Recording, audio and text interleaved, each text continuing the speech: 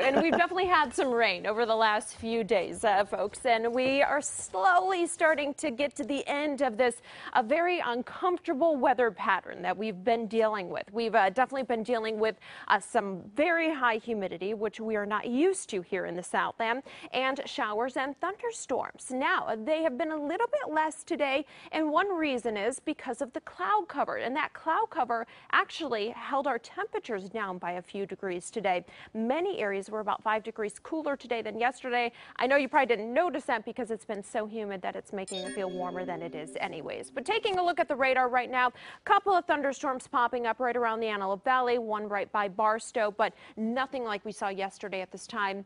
Uh, tropical storm Linda still pulling in that moisture into our area. Again, uh, the bulk of the moisture staying to our south, but it is also kicking up our surf. So I'll talk about those high surf advisories in just a moment. There is still that flash flood watch in effect through 9 p.m. on Thursday, uh, which is today, of course. And we're also looking at uh, that excessive heat warning, and that will continue through 8 p.m. But after that, in fact, by 6 o'clock this evening, we're looking at that heat advisory lifted. So again, we've gotten through the worst of it. It's still going to be uncomfortable and a little bit sticky out there and warm over the next few days, but we've gotten through the worst of the heat and the thunderstorm activity. Uh, so as we take a look, uh, we're talking about the waves picking up and that high surf advisory will stay in effect until 6 p.m. on Friday, uh, where surf could get up to around 8 feet.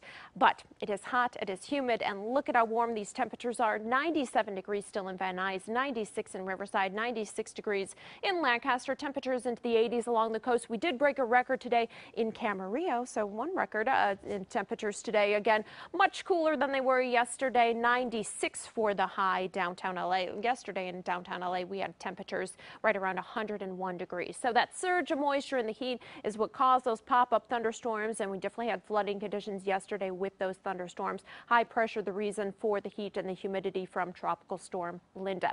Uh, but again, we're slowly going to see improving conditions. Uh, tomorrow, still going to be hot and humid, but again, cooler than today and cooler than yesterday.